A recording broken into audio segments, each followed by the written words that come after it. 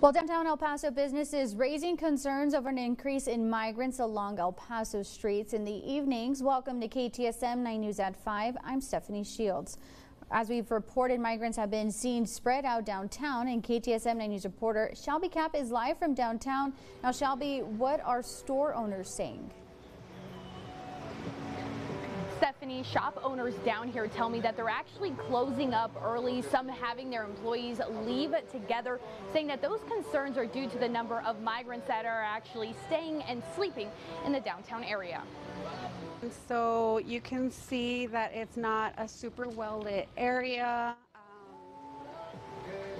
The owner of one store says she has to walk to a back alleyway when arriving and leaving work, saying that migrants sleep back there, leaving behind cardboard during the day. Saying one day when she arrived, migrants had a fire going in the alleyway, showing us a burned trash can lid.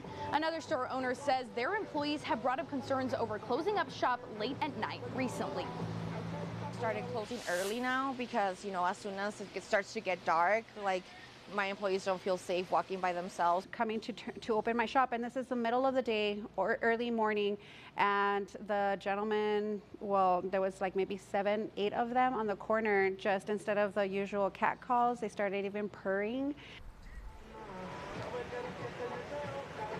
The El Paso Police Department says they understand there might be some concerns among business owners, sending a statement reading in part, quote, our department is also increasing patrols to ensure a visible law enforcement present. So we encourage open communication between our department and the community.